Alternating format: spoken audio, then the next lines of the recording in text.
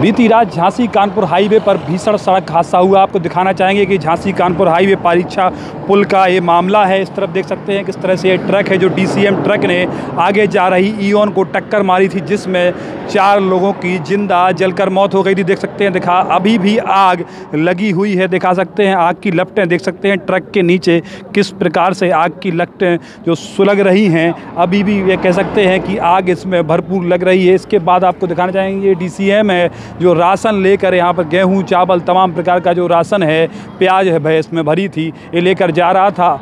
किसी ना किसी वजह या कारणों से ये ट्रक ने पीछे से जा रही ईओन गाड़ी में टक्कर मार दी। तो उसमें जो चार लोग सवार थे, दूल्हे समेत उनकी चार लोगों की मौत हो गई। आपको बता दें कि एरज के बिलाटी के रहने वाले थे और वहाँ झांसी के पास झांसी के पास एक गाँव में उनकी बारात गई थी। उससे रात में ये जा रहे थे, वहाँ से ढाई बजे के लगभग का ये मामला है। पूरा आपको हम दिखाना चाहेंगे कि किस तरह से ये आग लगी है।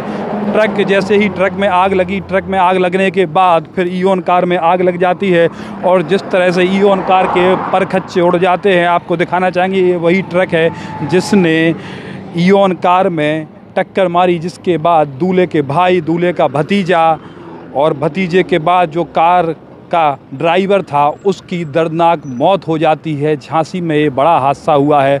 मुख्यमंत्री ने भी इस पर संवेदना जताई है। कुछ देर पहले हमारे संवाददाता से गरौठा विधायक जवाहरलाल राजपूत ने बात की थी। उन्होंने कहा था कि परिजनों को मुआवजा दिलाया जाएगा, मुख्यमंत्री से हम बात कर रहे हैं। उसके बाद से लगातार ये हादसे की जगह हम पहुँचे हैं। देख सकते हैं, झांसी कानपुर हाईवे है। पीछे आपको पारीक्षा थर्मल पावर प्लांट भी दिख रहा होगा, जिसके पास से ये सीधा पुल है। पुल के पास यह हादसा हुआ है।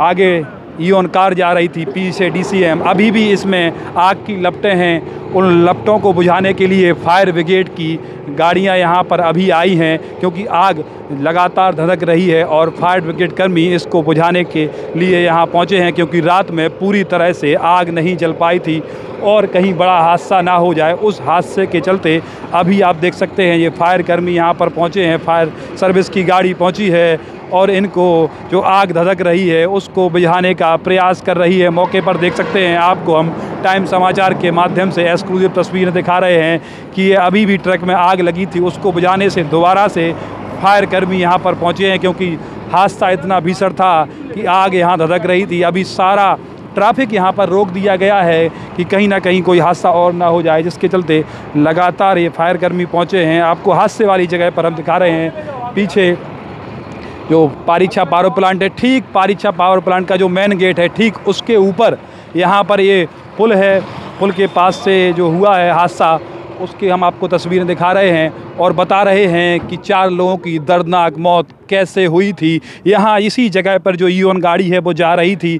पीछे से आ रहे डीसीएम ने जिसमें राशन भरा था, उसने टक्कर मारी। उसके बाद से सीधे जो चार लोग थे, उनको दो लोग उसमें और सवार थे। उनको जैसे तैसे निकाला गया, इसके बाद से फिर भीष रहा जो ब्लास्ट हो जाता है, ब्लास्ट के चलते चार लोग झुलस जाते हैं। उनकी मौके पर जलकर मौत हो जाती है। उसके बाद से लगातार ये शोक के माहौल बना हुआ है। पूरे झांसी में एक बड़ी खबर निकल कर सामने आई है। पुष्पेंद्र यादव टाइम समाचार, झांसी।